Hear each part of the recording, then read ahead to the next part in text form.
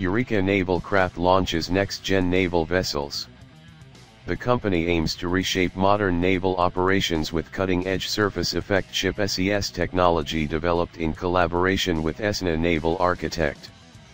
The vessels are designed for a variety of critical missions, including patrol, interdiction, reconnaissance, and attack. Eureka's vision is to provide flexible, high-speed vessels capable of defending vital infrastructure and conducting essential naval missions in contested waters, the company press release said.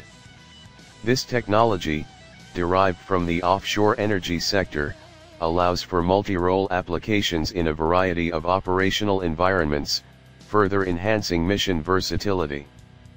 The vessel's modular systems, developed with leading defense original equipment manufacturers OEMs, offer advanced defense capabilities, protecting against threats from the surface, air, and underwater. With agility and resilience, Eureka S designs are equipped to respond effectively in high-risk naval engagements. Among the flagship vessels in the Eureka fleet are, Aircat Bengal 36M, a versatile vessel for patrol, interdiction, reconnaissance, attack, air defense, and logistical operations. The Bengal also supports medical evacuations, proving essential in high-threat environments.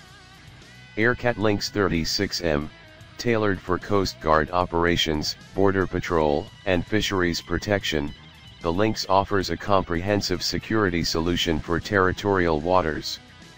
Aircat Jaguar 17.5M, a landing craft vehicle personnel improved LCVPI, designed for amphibious missions, beach landings, and self-recovery operations.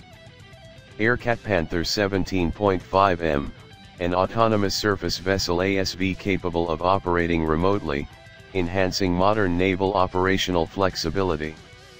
Eureka-S vessels are engineered to operate from amphibious landing ship well decks and can conduct